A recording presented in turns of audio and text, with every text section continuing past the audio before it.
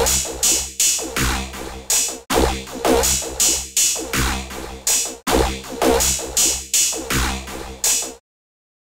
good?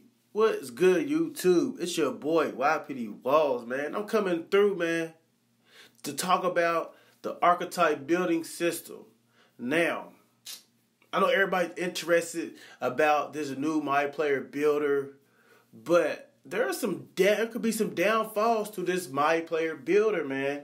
There, there's most definitely some positives, but there could be some downfalls also. So I was just, you know, scrolling on Twitter and stuff like that, and I came across a lot of different tweets as far as the, uh, everybody knows you can apply your attributes to wherever you want to. So you know, you if you want your dunking and your and your and your dribbling all the way up, you can apply that to that.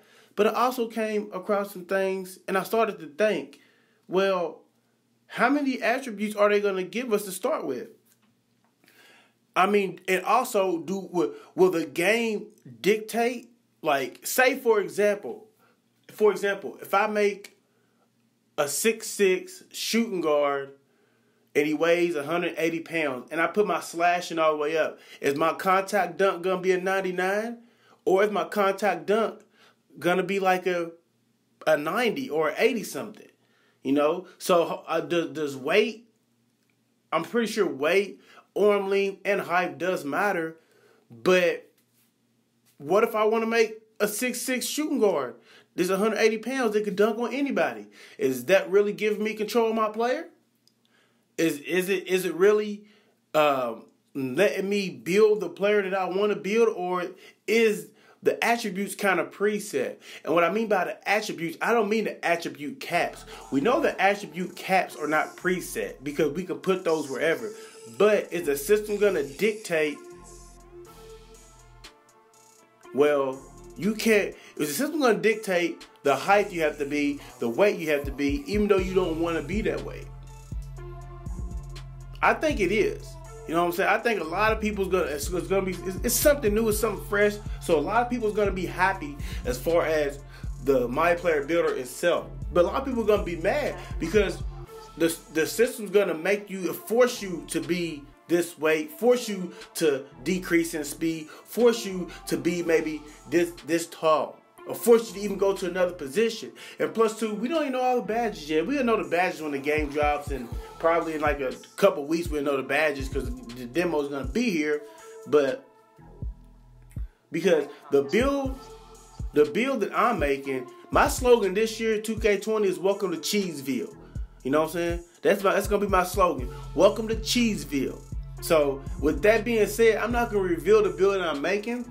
I'm not gonna make a video on the build that I'm making until I actually make the build and see how it's gonna be cheesy. But by by, by my words, y'all can, y'all can already figure out what kind of build I'm gonna be making. So, but the positive, I think that'd be the only negative. The positive in the new archetype system is you can make anything you want to make. Now, I don't know because you know 2K, I don't know if they're gonna let us cheese, man. And what I mean by cheese, I don't know if they're gonna let us make 7-3 pure shot creators. I don't know if you can make a pure shot creator as a power forward. I just don't know. Then uh, if you can make a pure shot creator, well, I say this, I'm gonna take the archetype thing out of it.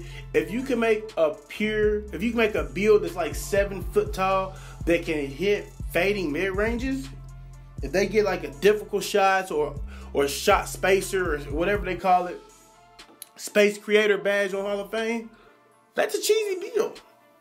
You know, there's gonna be a lot of cheesy cheese ball builds out here. You know, so with that being said, I'm just having like one reserve about things. Like,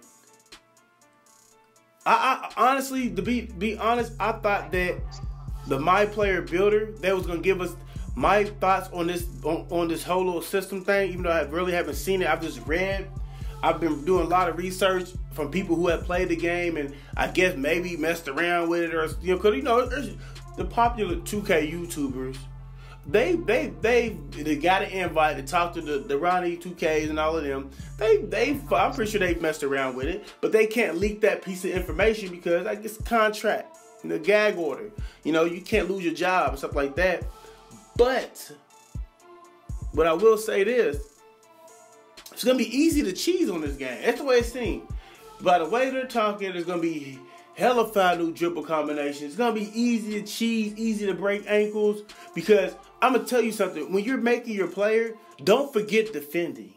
Yeah, everybody wants to have their offense up, but what is the point of having a, a strictly offensive build with no ankles? Especially if you know, I know everybody's gonna have majority of everybody who's been the pure, been on the pure sharps, who've been on these non-dribbling builds, they're gonna make sure they got some dribbling. They're gonna make sure they got some dribbling in their build this year. So don't slip up, man. Don't slip up when you make your build. Make sure if you want your slashing, if you, if you want to be a slashing shooter, make sure your slashing and your shooting's all the way up. But don't let it hinder your defense, you know? Make sure your defense is at least a 70, 60. Make sure the defense is up there, you know what I mean? Because you're going to need that defense. Because with the defense is a of quickness. Ain't no point of being able to dunk on somebody for two points and get cooked for three points every time on the other end. So you got to be smart and strategic when you're making your build. And I know a lot of people are going to be going to YouTube to try to figure out, well, hey, this guy said make this build, this guy said make that build. I know a lot of y'all going to find builds that these YouTubers are, are putting out. But let's be honest. If a YouTuber puts a build out and they're not using that build, how will they know if the build's good? Why? Because they played the build, they played with the build for what, 20 games? at an 85 or 90 or whatever it is, or whatever you can max your stuff out in, they don't know. So, once again, you have to figure out what you want to make, man. You know? You can have everything set at 75. That's shooting, that's dribbling, that's defending, that's rebounding. You can be like a four way type of player. But your statistics is not going to be that high. But hey, you never know. You may have uh, every badge. I, and plus, but the badges, I, they haven't even said if we're limited to badges.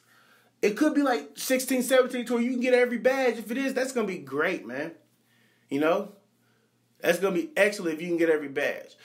Uh, hopefully, hopefully they let us pick our badges. Hopefully, once we Hopefully, once we make our build, as far as the attributes where we want to attribute that, hopefully once the badges start start popping up, we can choose between these badges for the primary. We can choose between these badges for the secondary. We can choose between these badges for the silver and the bronze. Hopefully, we can do that because that's freedom to create your player. You know, they need if they giving us hands-on freedom, they need to try to incorporate that instead of sticking us with a badge because I may not want relentless finisher. I may not want relentless finisher on goal. I may want relentless finisher or matter of fact, let me take that back because I know they said that relentless finisher is no longer in the game. So I may want contact finisher on silver, and I may want uh, what is it? The deep shooting badge. I may want that on gold. Excuse the noise in the background. I know y'all heard a noise in the background. Excuse that. I don't know what that was, but anyway. So when it comes to building your my player, make sure you build your my player. Make sure it's everything that you want. Don't go off of what somebody else is telling you. Now, team program and all of that, if, you, if you're with a squad and you got, or if you, if you, already got your crew and your crew's like, hey, you, need to make this, you need to figure out this, that's cool. But when it comes to the cheese, man, y'all know what I mean when it comes to the cheese, man, you gotta make sure them attributes all the way up, man. You know what I mean? Make sure them maxed out. You know what I mean? Because let y'all know right now, this year, I see my I see me playing a lot of twos.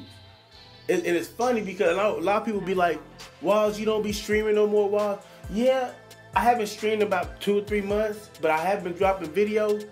But this I've been playing on twos for the last two or three months. Haven't been playing on my career have been playing on threes. When I get on the court, bro, I play twos because I feel even with a pure sharp, as long as I got a glass or a lockdown, I'm Gucci. I feel as if twos are so easy. It don't matter what you're checking, what you're guarding.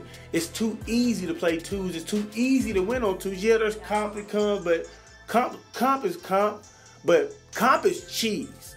If y'all don't understand, you know, on the twos, comp is cheese. People be like, People be like, oh, you playing comp. No, you're playing cheese, man. That's all it is. Cause it's a game. The comps is gonna cheese you, cheese their way to a victory. They're gonna L2 on the inbound. They're gonna spam, dribble, do this. They're gonna have a lockdown, post up in the corner, a lockdown, post up at the three, the perimeter, and shoot three. Comp is cheese. Remember that.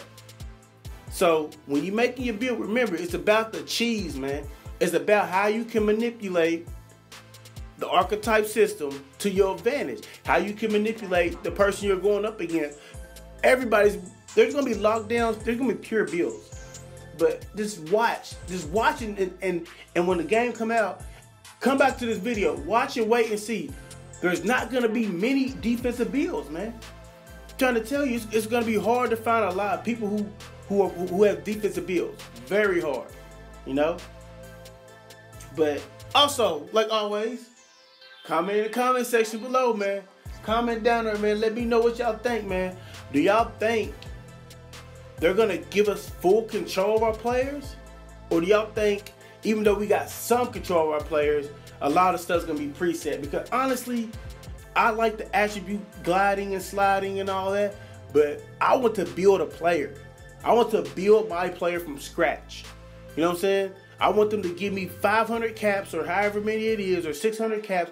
Let me build my player from scratch. Let me let me put something on this uh, defensive re- defensive rebounding, offensive rebounding, defensive box out, offensive box out, uh, um, passing vision. I want to create my player like that. Now, if the my player builder is like that, it's gonna take a minute to create a player, but that's gonna be real good if we can do that. But I doubt that we're gonna be able to do that. But you never know. But like anyways, any but like anyways, see, I always be mixing my words up. But like I said, just think about the build you're gonna make. Remember, cheese, man. Cheese, man. Make the cheese, man. But like always, smash that sub button, turn noties on. And it's just my thoughts on the my player. It, this is my thoughts on like the my player builder and I feel how it should be, uh, the build, the freedom that we should have. You know. Make sure to comment below, man, and I'm out.